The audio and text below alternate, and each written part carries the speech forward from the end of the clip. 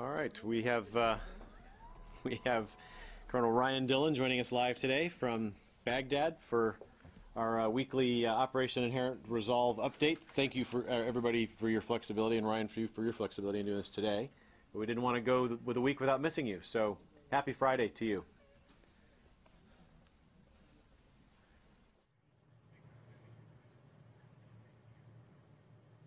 Right back at you, Jeff, and everybody.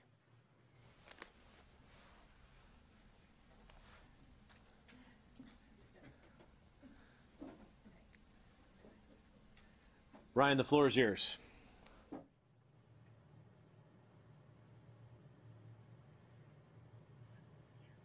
All right, thanks a lot. Hello, everyone.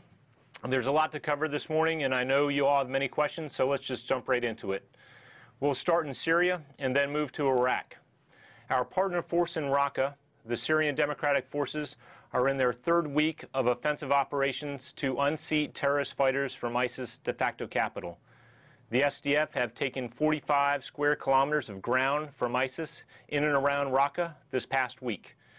The SDF continue to fight along three axes towards the center of Raqqa against substantial ISIS resistance. Moving from the east, the SDF have reached the ancient Al Rifa wall. From the northwest, they continue to push past the sugar factory amidst well-emplaced IED-laden defenses. And from the west, they continue steady progress one neighborhood at a time into the city. South of the Euphrates River, the SDF continue to push eastward to retake ISIS-held territory. On 18 June, last Sunday, a U.S. F-18 Super Hornet shot down a regime Su-22 jet in defense of coalition partner forces that were operating within an agreed-upon regime SDF deconfliction area. And in southern Syria, a U.S. F-15 shot down an Iranian-made Shahed 129 armed drone as it approached our forces near At Tanif. The regime drone, advancing in a similar manner to their attack on 8 June, was shot down as it approached its weapons employment zone. The coalition has made it clear to all parties, publicly and through deconfliction line with Russian forces, that the demonstrated hostile intent and actions of pro-regime forces toward coalition and partner forces will not be tolerated. The coalition re-emphasizes that we do not seek to fight Syrian regime or pro-regime forces. Partnered with them, our mission is to defeat ISIS in Iraq and Syria. Moving to Mosul, in the last two days, Iraqi security forces made significant progress pushing into the old city and also isolating the Al-Jumhuri hospital, severing the two remaining areas held by ISIS. Emblematic of their own impending destruction, on 21 June, ISIS destroyed the historic Grand al-Nuri Mosque from which al-Baghdadi proclaimed the caliphate in July 2014. The nearly 800-year-old mosque and the famous leaning Al-Hadba minaret stood as a symbol of faith and unity for the people of Mosul. ISIS used this mosque to publicly justify its criminal campaign of genocide, mass rape, slavery, and murder. On Wednesday night, as Iraqi counterterrorism service members moved within 50 meters of the mosque, ISIS detonated it with explosives. Their destruction of the mosque and its, uh, is another despicable act, another crime that is consistent with the hundreds of other ancient and historic artifacts ISIS has destroyed in their wake. The time is near when Iraq will celebrate their long-fought victory over ISIS in Mosul. There's no question about that. And there's no question to the significant effort that will be required to stabilize West Mosul. However, if there was any doubt in Iraqi resolve and their ability to quickly rebound from adversity, all you need is to go to East Mosul. Wednesday this week, I accompanied our Deputy Commander, British Army Major General Rupert Jones, to East Mosul. While there, we met with the Chief of Police for the Nineveh Province, Brigadier General Wathiq. He is responsible for security throughout Mosul and its surrounding areas. General Wathiq briefed us from his headquarters highlighting the fusion of Iraqi police, army, and popular and tribal mobilization forces, how they have collectively captured almost 400 ISIS fighters in the last three months in both East and West Mosul and in IDP camps. He also emphasized that civilians have been an increased source of information leading to arrests and stopping attacks before they happen. My father used to say, don't tell me, show me. Well, after General Wathiq's briefing, we went to the Prophet Yunus Market, not far from Mosul University, and got to see firsthand what life is like in East Mosul now. Driving to the market, multiple crews of 20 to 30 workers were shoveling rubble into wheelbarrows, sweeping the streets, and fixing signs and sidewalks. Once we arrived to the market, it was teeming with activity, busy with hundreds of people selling and buying everything you could think of nuts, fruits, clothes, candy, fish, and gold. And it was brought to my attention that because of Ramadan, most people were in their homes at the time that we were there. And a shop owner told me uh, this is nothing. Uh, there are at least double this amount, amount of people after breaking fast at sundown. And while I saw this with my own eyes, there are some significant figures that further illustrate the progress. 191,000 Moslawis are back in their homes. 350,000 children are back in school. 320 out of 400 schools have reopened. And four of nine water treatment plants are providing water to nearly a million people, with more than 3.5 million liters trucked in daily. The Greater Coalition will do all we can in working with Iraqi authorities to make sure that these trends continue, while mindful of the extraordinary difficult nature of this battle and what lies ahead. West Mosul stabilization efforts unquestionably will be more difficult. The level of destruction has proved to be more extreme, but the Iraqi resolve, determination, and support from the global coalition and international community will all help to bring West Mosul back. In closing out, before I take questions, I would like to recognize that this afternoon at Peterson Air Force Base, Colorado, my predecessor, someone you all know very well, Colonel John Dorrian, is set to retire after 25 years of service to our country. He's a professional, a leader, and a mentor, but most importantly, he's just a good dude. So in appropriate JD fashion, I will now be delighted to take your questions. Start with Bob Burns from the Associated Press. Uh, thanks, Colonel. A uh, couple questions related to Russia. Uh, do you have any uh, reason to believe the Russians are incorrect in asserting that they have killed Baghdad, al-Baghdadi. Uh, do you have any comment on their cruise missile strike uh, today in Syria?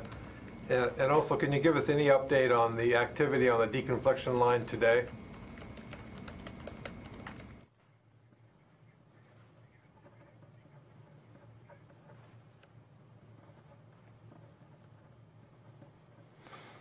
All right, uh, sir, thanks for that. First off, uh, with the Russian claims of uh, killing al-Baghdadi, uh, we will hold fast with our uh, previous statements in that we do not have any definitive proof to, uh, to corroborate their claims to that.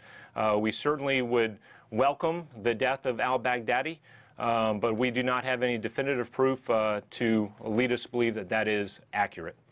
Uh, secondly, on the cruise missile strikes uh, that you'd mentioned from Russia, um, we uh, are still using, and the deconfliction line is open, and it is open for a reason to make sure that our collective uh, air crews and, and forces on the ground are operating in a safe uh, manner and that uh, there are no strategic mishaps that happen as a result of un, deconflicted actions. Um, I think that answers all your questions. Uh, please follow up if you need to. I do have one follow-up there. Um, um, you brought those two points together about deconfliction and the cruise missile strike. Are you saying that they did they use it to alert you that they were about to do the cruise missile strikes to deconflict the airspace?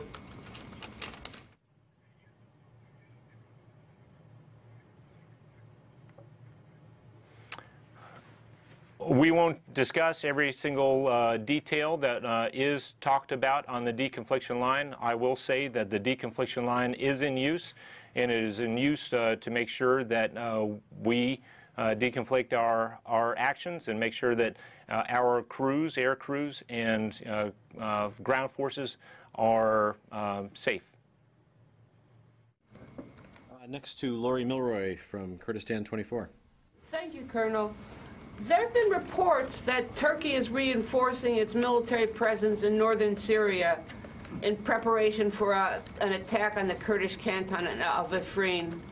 Do you have any further information on that, and do you have any comment?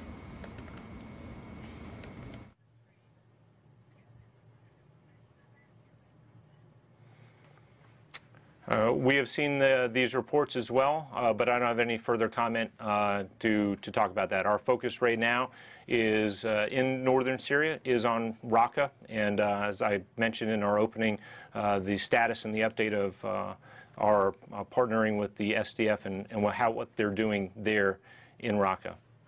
So you don't have any information to judge whether those reports are accurate or not so accurate?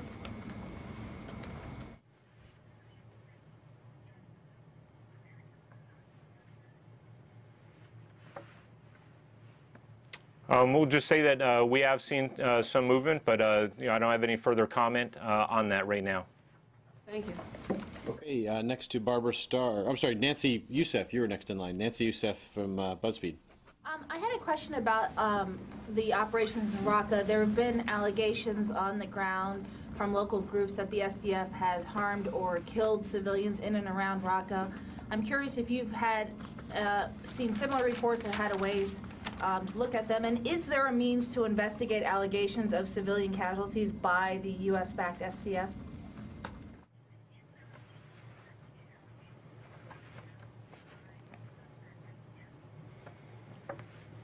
Well, as you know, we will will look into civil, civilian casualty allegations.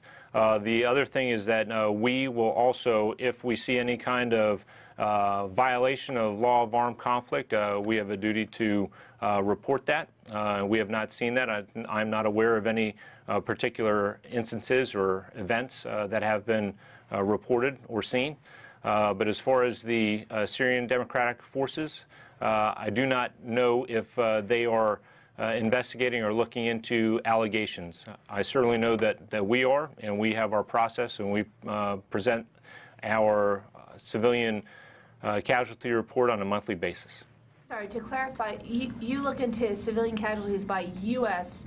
strikes. Is You don't look into them for SDF?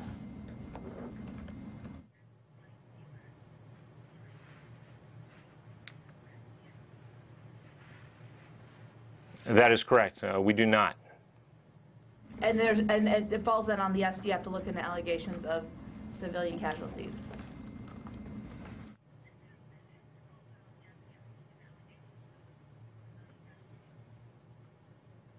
Uh, I missed uh, that, a little bit of that question there, Nancy. Uh, what was that again, please? Calls on the SDF to then look into allegations of civilian casualties by their forces. Is that right?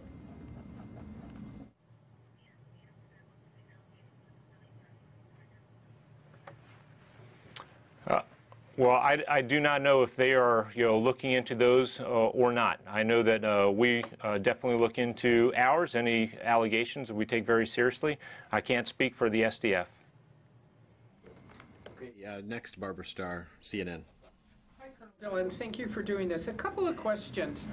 Um, the Mayadeen area, can you bring us up to date on what you see there in terms of an ISIS leadership presence, especially because the last several HVTs that have been killed have been in that area. So, so what do you think the ISIS presence is in Mayadeen?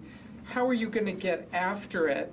And related, what's your assessment now of Russia's ability to actually influence Iranian-backed forces, as well as the regime, but in particular Iranian-backed forces, to steer clear of your forces?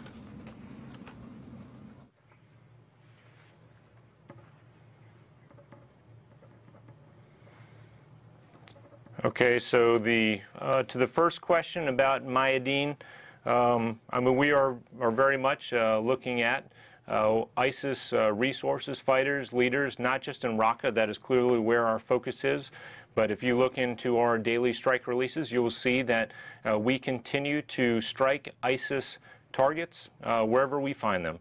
And in the specific to what you were asking, um, I don't have the details right here in front of me, but I know that uh, we have struck several HVIs, uh, high value targets, uh, in and around the Abu Kamal Deir and Mayadeen area um, since I've uh, been in this position.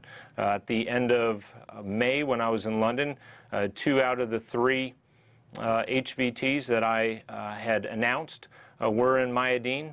You had Turki al-Binali that was announced last week. He was also in, in Mayadeen. And then you have some others in Abu Kamal and Deir ez-Zor. this is still ISIS held territory. And we know that they have resources, uh, particularly uh, financial resources in the, in the way of oil uh, revenue uh, producing uh, things that they have in and around Deir ez-Zor. So we will continue to strike uh, in these areas when we have the targets, and they do not have any sanctuary. ISIS has no sanctuary wherever they hold ground. Now to your second question about Russian um, influence over Iran, I, I, can't speak for that. I know that we will continue to use the deconfliction line uh, for uh, the reasons as I've mentioned before, to make sure that our crews and our forces on the ground uh, can stay focused on what it is that they are here to do, which is to defeat ISIS. But if I could just follow up, at this point now, you've had several incidents. More directly, what potential threat do you believe these Iranian-backed militias and regime forces continue to pose to your forces and your partner forces in the At Tanf Abu Kamal area?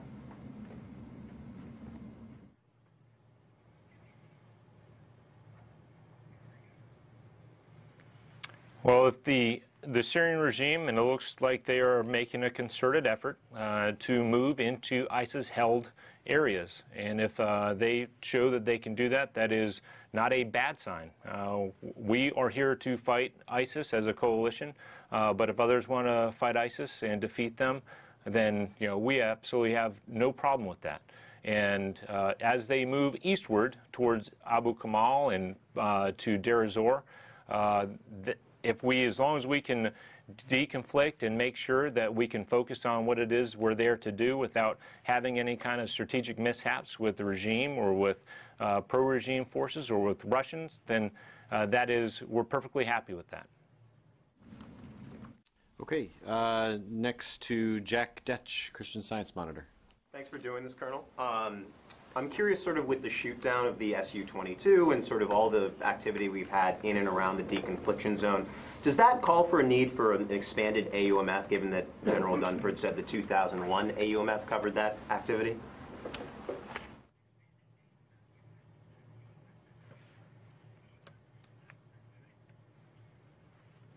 Um, I'm not familiar with the AUMF, uh, but what I can say is that uh, as at least in the course of the, the last uh, few days, you know, things have uh, gotten back to the way we want them, you know, de-escalated, and we have also uh, been able to focus on what it is that we're doing.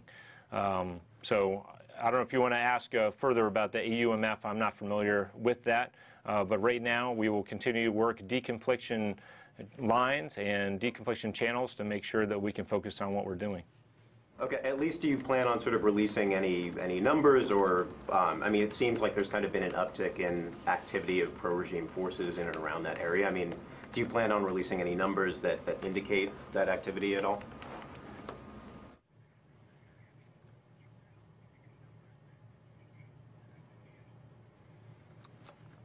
Um, I, I, think uh, what we have, as far as the uh, the strikes that have happened uh, on regime forces and pro-regime forces, uh, we have uh, come forth on that.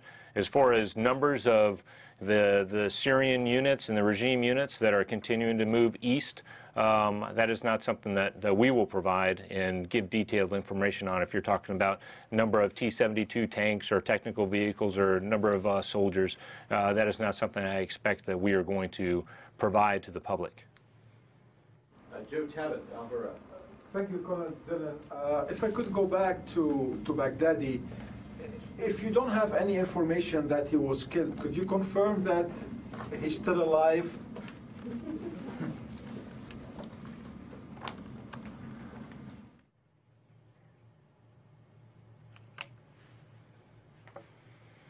Uh, uh, I don't have any you know, particular uh, concrete uh, evidence to say that he is uh, still alive.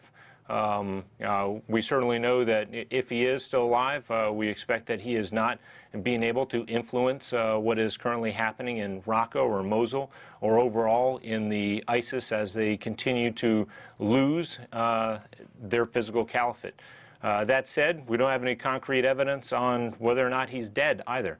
So uh, our statement uh, stands, and uh, we still cannot confirm with a 100% assurity that al-Baghdadi has been killed. Quick, quick, excuse me, quick follow-up on Mosul. Why do you think ISIS blew up the An-Nuri mosque? What's the reason that led ISIS to blow up the mosque?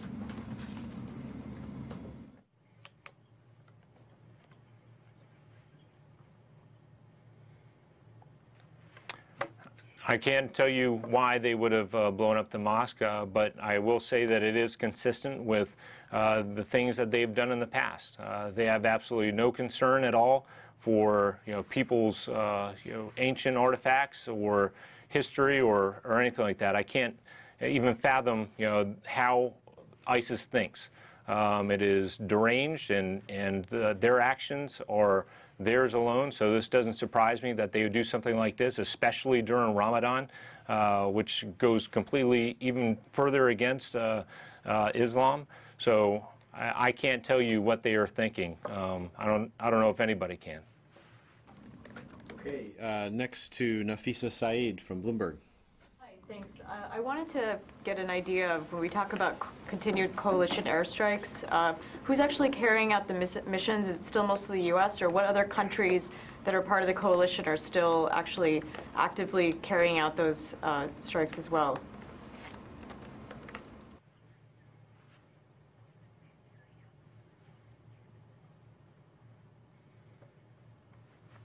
Oh, we don't typically get into you know the the um, by aircraft or by country, uh, but we we do have uh, multiple uh, countries that are supporting the coalition, uh, not just in the air but on the ground. And we will continue to conduct strikes to make sure that our partner forces in both uh, Iraq and in Syria can continue their advance uh, on ISIS in both of those countries. Okay, uh, next to Tara Copp, Stars and Stripes. Hey, Colonel Dillon, um, could you talk a little bit more about the cruise missile strike? Confirm that it was six missiles that were launched and where they hit, and at what point uh, was the coalition aware that they were in the air? Uh, was it before launch, or were you tracking them from the ship? Um, were there any forces ever, uh, coalition forces ever in danger either on the ground or aircraft?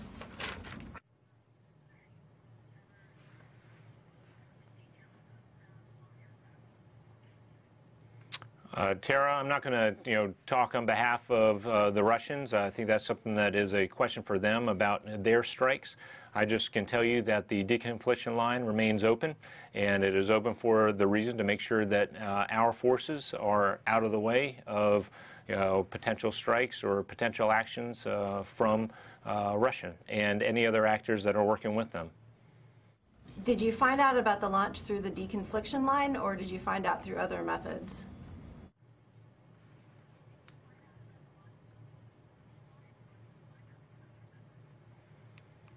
Again, I'm just going to say that the deconfliction line is open and, and it is working, and uh, we can make sure that our forces are uh, can continue to focus on their missions on the ground and in the air. Once the coalition was aware that there were six missiles headed into Syria, what, uh, I guess, efforts were made to ensure that forces on the ground or aircraft were out of harm's way?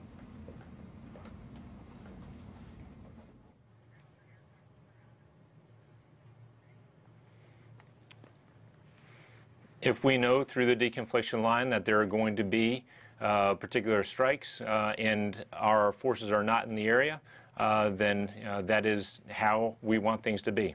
So the deconfliction line remains open. We're not going to discuss uh, every detail uh, about what is discussed on that deconfliction line. But I can tell you in the last 24 hours, 48 hours, we have been able to make sure that we can stay focused on what we're doing without any kind of incursion or strikes or harm to our soldiers and our partner forces. Uh, Zachary Biggs from Janes.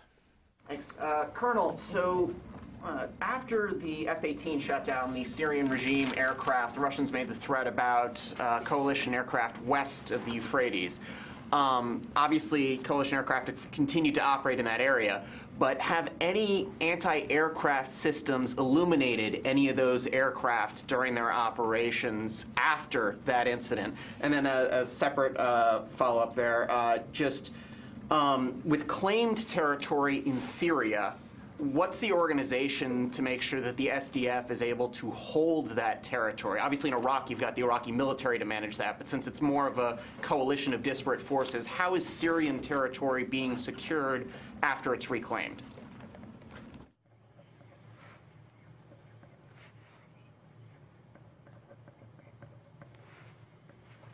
Okay, so to your first question in reference to uh, whether or not uh, our aircraft, after the uh, statements made, uh, were painted or illuminated, I think is what you, the way you brought that up.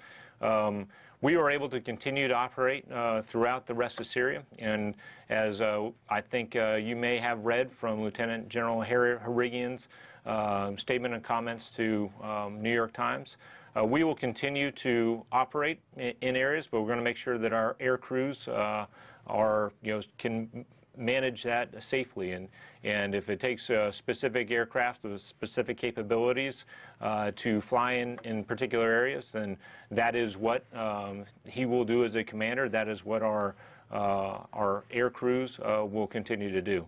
Uh, we're not going to get into uh, the details on whether or not you know certain aircraft were painted. Uh, we will take uh, very specific and um, calculated measures to make sure that our air crews uh, can continue to fly safely. Um, in reference to your second question on SDF holding areas, I know that uh, first off, you know, we're continuing to, uh, in particular in Raqqa, and then in, in Tabqa and to the north of Raqqa, uh, those are uh, continuing to be SDF-held areas as they have uh, beat ISIS uh, in those particular locations. Um, as far as holding that area and specifically to who that goes to, that is something that will have to be addressed in the future, and I don't I can't really predict as to uh, what will happen uh, when uh, you know either Syrian uh, regime or uh, or what the SDF will do after that. I know that uh, we are consistently pushing towards local governance, which is the you know the councils and the security forces that liberate areas from ISIS are representative and responsive to the people in those areas just a quick follow on the first part there. So I'm not asking about a specific flight, a specific aircraft, a specific mission. Have any of the coalition aircraft been painted since, or we could say in the last month? Have there been coalition aircraft painted during their operations in the area?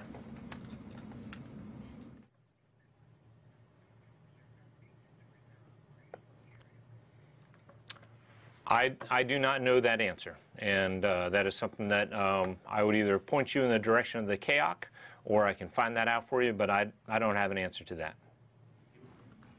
Okay, uh, T.M. Gibbons Neff, Washington Post.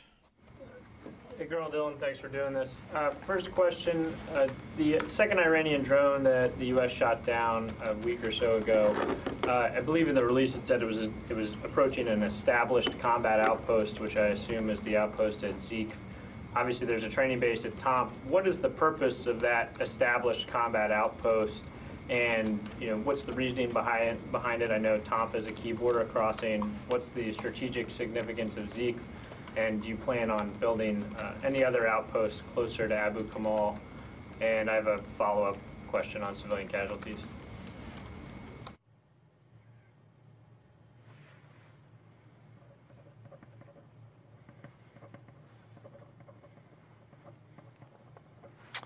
All right. Okay, TM, the, uh, that is correct. It was a combat outpost. It was outside of uh, Atanif. Uh, but this is, as we've stated in the past, that this particular area in and around Atanif is uh, where we have been training with the, uh, our partner forces uh, for over a year. We've been operating out of Atanif uh, for the since the beginning of the, the year in 2017. Uh, but we also continue to conduct patrols out into the Hamad Desert, going towards uh, the um, middle Euphrates River Valley and also further to the west. Now, with the presence of the regime around, um, we are going to make sure that we continue to deconflict and uh, make sure that we uh, respect uh, what has been uh, discussed in uh, deconfliction. Uh, but what we uh, are going to continue to do is train our partner forces, and that also includes establishing combat outposts and, and also going into the Hamad Desert area, just as we've been doing for uh, well over a year now. Uh, in reference to, I think that covers both of them. The outpost towards Abu Kamal, I, th- I think I addressed both of them. So if the regime is, uh, has moved into an area that is uh, towards Abu Kamal, uh, then we are going to be limited to how far out we do the patrols with our partner forces. And then the follow-up question, I think Airwars said today that uh, the U.S.-led coalition killed more than 500 civilians in Syria. I know you guys kind of do a rolling estimate uh, on this, but how many assessments have you started, uh, your crew of uh, civilian casualty, the civilian casualty team, how many assessments did you start last month into uh, possible casualties?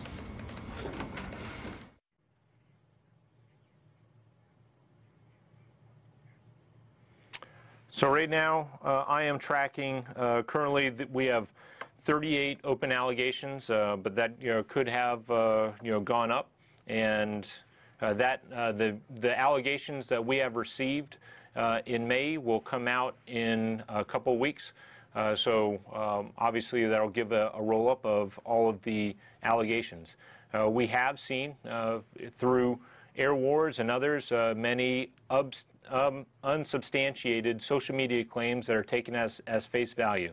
And as far as I know, the coalition are the only ones who actually take evidence um, and you know, put it together with uh, strike logs and information to give credible uh, uh, assessments after the fact. We will continue to do that. We will continue to take allegations, and we take them very seriously. Uh, but we are we have seen a lot of the numbers, and they're uh, they are high. But I think that we are the ones who do the the work to come out to a, a very uh, detailed uh, process that can credibly say uh, whether or not uh, it was credible. Okay, uh, next to um, Kasim Ileri from Anadolu News Agency. Actually, um, my questions have been covered, but I will try to ask it in a different way. Maybe you can get something from me because the answer is still not here. So there are reports that saying that Russians have just informed Turks and Israelis about the cruise missile strikes and did not inform the U.S. Could you deny?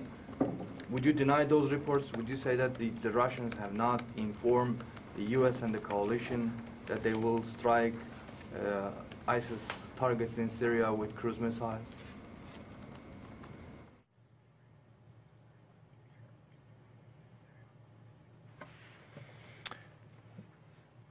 Again, I'll, I'll go back and I'm going to say that the uh, the deconfliction line is open and it remains in place. If if Russia or any other actors want to uh, want to target ISIS, uh, that is very welcome and is something that uh, that we are okay with. We are going to continue to use the deconfliction line to make sure that our forces are operating in a safe manner, just in the same way that the Syrian regime or Russian forces, uh, when they are operating in an area and we want to conduct strikes, we will use the deconfliction line for that purpose. The deconfliction line being open doesn't really mean that the Russians have informed the coalition that they are going to strike uh, targets in Syria with cruise missiles. The question is whether they have informed, notified or not, rather than whether the confliction line is working or not.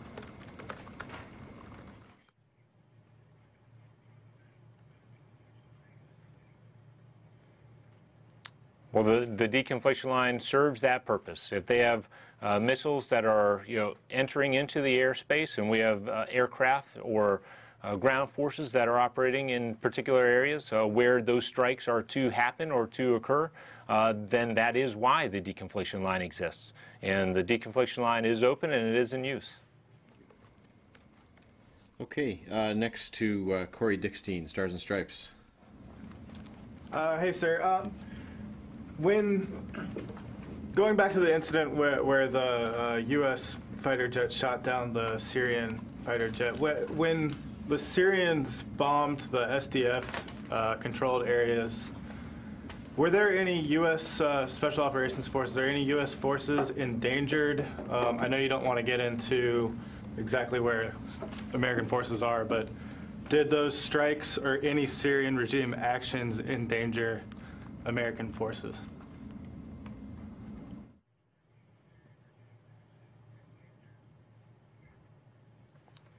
Uh, no American forces were injured or um, or killed as a result of this. Uh, I'm obviously, uh, otherwise it would have been um, reported. But uh, no, uh, American forces or coalition forces uh, were not um, in that immediate area when those strikes happened. Um, and then just a, a second one.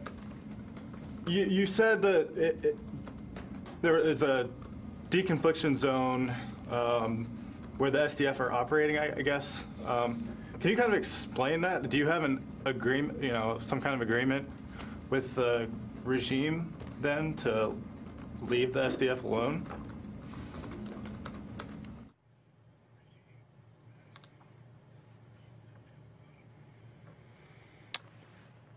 So right now there is a, a deconfliction line, as we have seen the forward line of troops from the Syrian uh, regime and the Syrian Democratic Forces that they have uh, you know, butted up against uh, one another. We want to make sure that there are measures in place to, to make sure that there are, are not incursions. And so uh, between the Syrian Democratic Forces and the Syrian regime, and then all the way up through the uh, the Americans and the coalitions and the, the Russian forces, everyone who is operating in the area. Uh, a deconfliction line uh, has been established uh, so that we can uh, make sure that we're focused on what we're there to focus on and to not have these incursions and not to have uh, any more strikes as a result of um, not understanding or knowing where the line is and, and where each other can operate. Uh, gentleman in the back, I'm sorry, sir, I don't know your name. Saagar Enjeti, uh, Daily Caller. Uh, Turkish officials say that the Secretary Mattis gave them assurances that arms supplied to the SDF would be returned to the U.S. after the Raqqa campaign is over. Can you characterize any systems that are currently in place in order to track these weapons and ensure their return?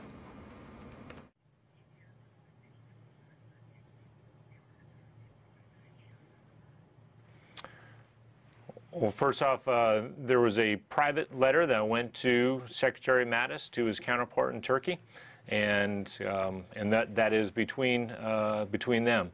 We currently have a process in place where we are we know by serial number the weapons and the equipment uh, that we are providing to the SDF. We are very open and transparent with our Turkish uh, allies to the north, and they understand and, and know uh, by serial number and by uh, type of equipment what those uh, what that equipment is, what those weapons are. So that process is already in place uh, right now, and we will continue to be transparent with our, our Turkish allies. So, follow-up question: Did that uh, did that letter not give a guarantee that the arms would be resupply would be given back to the U.S uh, from the SDF after the campaign is over?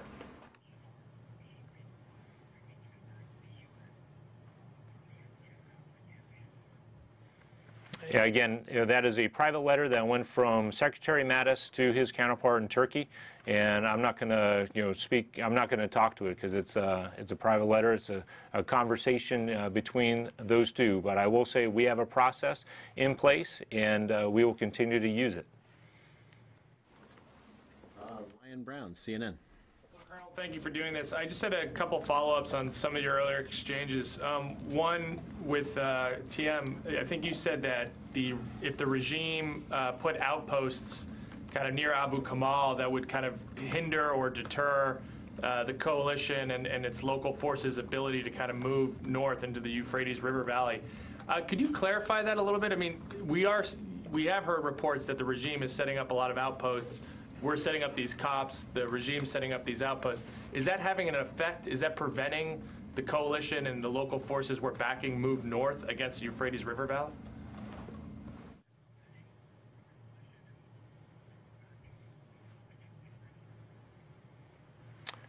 So what I was saying about that is that out of the At-Tanf area, we have used that uh, to train our partner forces and to uh, continue to to fight ISIS, you know, if they are in and around that area. Um, you know, now that the regime has moved in um, and they have uh, made some significant, you know, progress as it looks towards moving uh, to Abu Kamal and perhaps uh, Deir ez-Zor. Um, if they want to fight ISIS in Abu Kamal and they have the capacity to do so, uh, then you know that that would be welcome.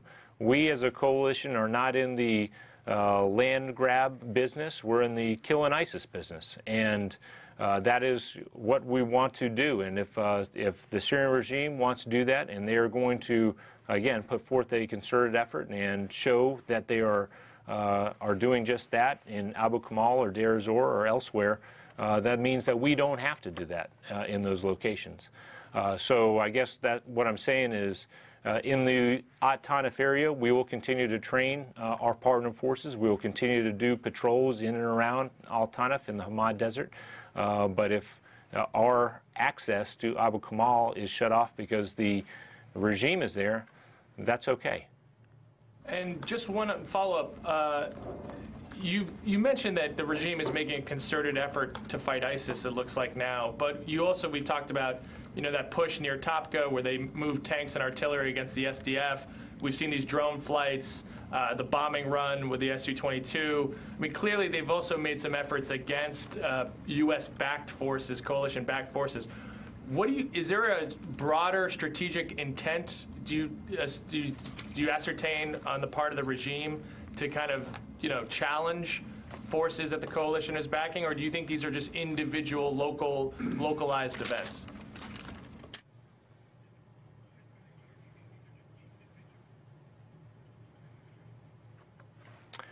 Yeah, Ryan, I, I can uh, I can't characterize or you know guess for uh, what has happened or what uh, what happened is a part of the you know, regime uh, elements. Um, and so I, I, won't I won't speak to it. I know that you know there's been some open reporting uh, that has said that they thought that they were fighting ISIS. Well. Um, I just all I know is that you know we have established a deconfliction line in the the ground uh, where we want everybody to adhere to so that we can focus on what we're there to focus on without having to get into any further skirmishes, any further engagements between regime, SDF, U.S., coalition, uh, and the, the regime or pro-regime forces. I, you probably heard me say this 20 times as we look at the transcript, but we want to fight ISIS, and that's what we want our focus to be. And anything that takes us away from doing that uh, is, you know, fewer resources towards uh, doing what we're there to do. Ma'am on the side. from Hürriyet in Turkey. Colonel, thanks for doing this. Uh, my question on Secretary Mattis's letter to his Turkish counterpart is covered, so I have a second one. And actually, it goes back to Barbara's question on the Iranian-backed militia uh, being uh, active in the in the Abu Kamal, Deir ez-Zor region. So uh, just a bit of clarification on this, maybe.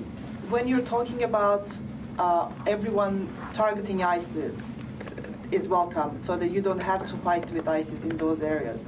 Does that specifically include the Iranians, the Iranian-backed militia? And does that hold for Deir ez-Zor specifically?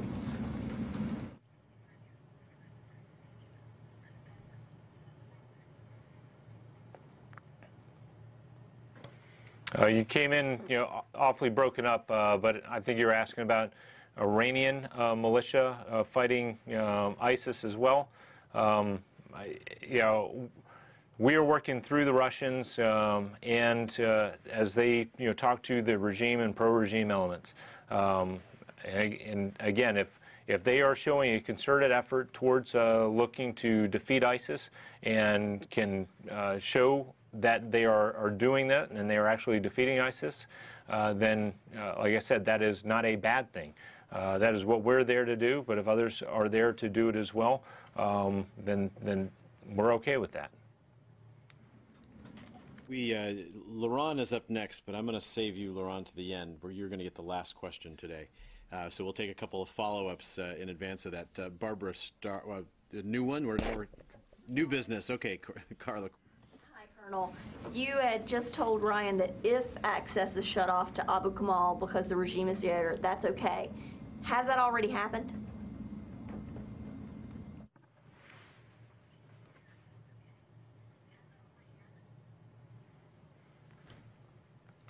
Well, they are you know, between uh, the uh, our elements that are currently in At Tanf and uh, moving to Abu Kamal uh, to the uh, to the northeast. Um, that's not to say that we could not uh, continue to um, you know bring forces in you know through another means or another way. We clearly are continuing to conduct strikes in the area, but I would say that you know without having to you know work you know, some kind of um, not deal, but I, I, think that the only way we could get to Abu Kamal right now, if that were something that was even uh, on the, the table, it would have to be from a different direction or a different location. Uh, but we will continue to strike ISIS targets wherever we find them in Abu Kamal or anywhere else along the uh, Euphrates River Valley going north. Uh, Barbara, I think you had a follow up. Yeah. I need to come back on this very same point because I, I'm sort of really not understanding this. You seem to be saying, Colonel, that U.S. backed forces, leaving aside airstrikes for the moment, that U.S. backed forces will now potentially, and U.S. forces will now potentially defer to both the Syrians and the Iranians on the ground if you believe they're fighting ISIS. I don't know if you believe they're making a concerted effort. What does a concerted effort from a military standpoint mean? Do you wait to see if they're striking ISIS targets? How long do you wait? Do you ask the militias, that, the people that you're training to wait? Is this a new policy of the U.S. to wait and you've suggested a deferring on the ground to the Syrian regime and to the Iranian-backed forces, and I'm just not clear what that means.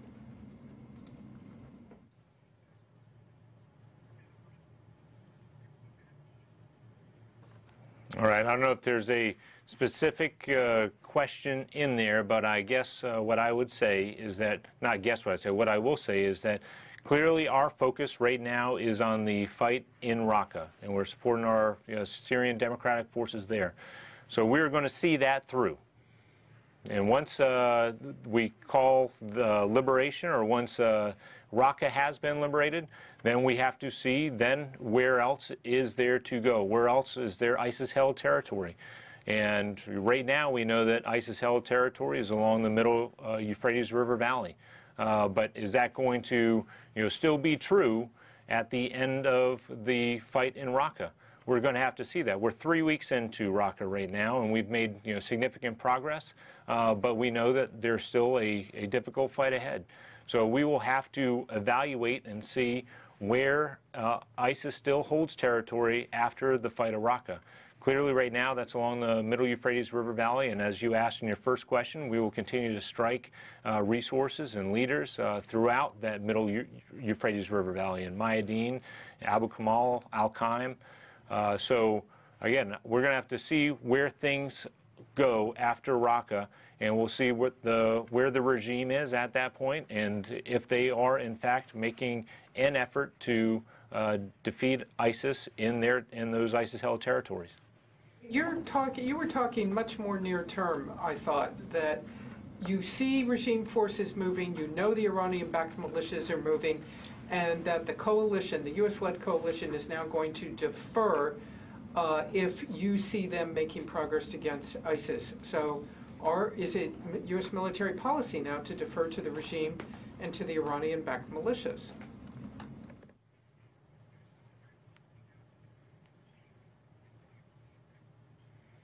All right, maybe it's uh, it's awfully nascent right now to be able to say where uh, where where the Abu Kamal and the Deir ez-Zor you know, fight is going to be, where the regime is going to be.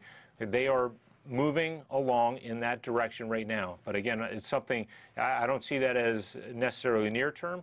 Uh, and I just told you where our focus is, but we will have to see in the future after Raqqa and see where everybody else is uh, in and around Syria at that time. Zach, did you have a follow-up?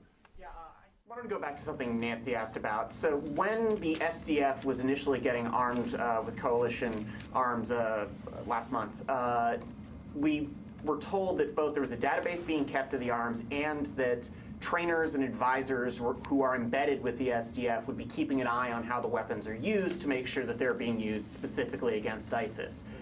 Um, if those arms are being used by the SDF and resulting in civilian casualties, are those trainers and advisors obligated to report those incidents up the chain of command uh, that would disclose some of those civilian casualties that are, could be the result of use of coalition arms?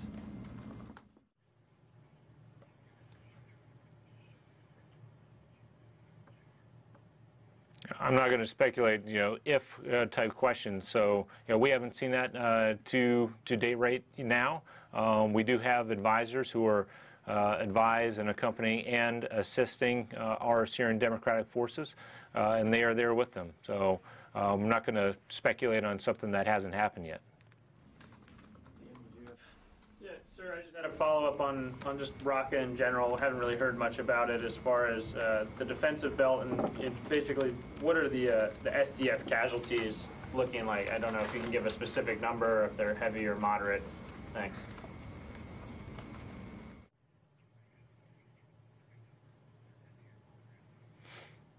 Yeah, I'm not, I'm not going to go ahead and, and give you uh, numbers at all. Uh, what I will say is that in the first uh, two weeks, uh, there was uh, significant progress, very you know, quick progress that was made.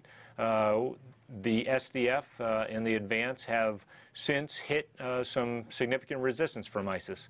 And now we are starting to see um, some of these, you know, better uh, in place defenses uh, as we have uh, gotten to the places where we have where we have advanced to in the campaign in and around Raqqa.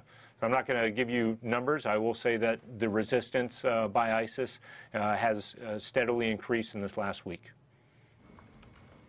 I wanted to save our last question today for Laurent Barthélemy from Agence France Presse. Uh, and it, as, as Ryan drinks an extra dose, dose of truth serum uh, in advance of your final question, I just wanted to say on behalf of the Department of Defense, thank you for uh, faithfully covering this department for the last five years. Uh, uh, oh, only two. It seems like you've been in town longer, I guess. Um, but uh, you have been great to work with. you have reported on us faithfully, aggressively, honestly. Um, and uh, we're sad to see you uh, moving back to France. You also have the coolest accent of anybody in the Pentagon press, and we will miss you. Uh, so, with that said, sir, uh, the floor is yours. Thank you very much. I appreciate uh, what you said. Thank you. Uh, Colonel, you, you, have said that you would be perfectly happy to deconflict with the Syrian regime forces in their push towards Deir ez-Zor and Abu Kamal. Uh, just to be clear, are you actually asking the regime to share information uh, with uh, with the coalition on their moves, on their intention, and and would you would you consider some kind of uh, direct uh, conversation with the regime forces on their move?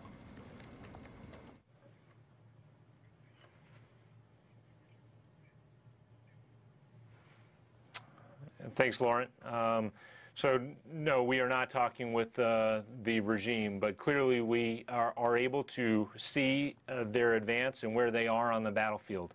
Uh, and when I said, you know, perfectly happy, uh, I think I meant perfectly happy with the defeat of ISIS, regardless of who it is uh, who, who is able to do that.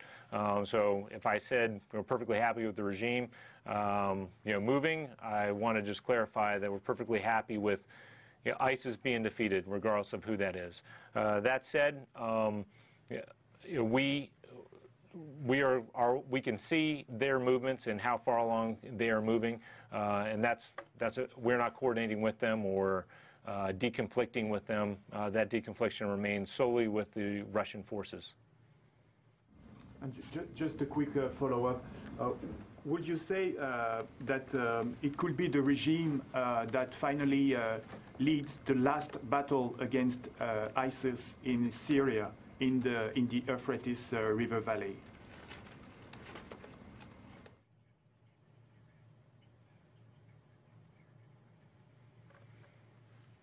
Uh, I mean, I'm not going to. I will say it is. You know, is it likely or you know probable? Uh, I don't know, but uh, that could be the case. So we're again, we're going to have to see where where everybody is uh, and how. Uh, how the collective efforts of you know defeating ISIS you know in our own particular ways where everything is going to you know pan out at the very end.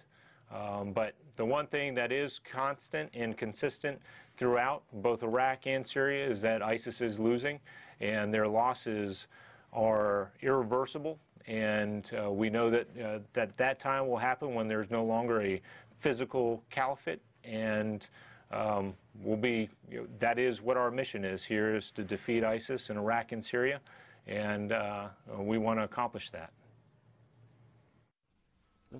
All right. Thank you, Ryan, very much for your time today. Uh, and uh, for everybody, have a good weekend. Thank you, Laurent, and Godspeed to you.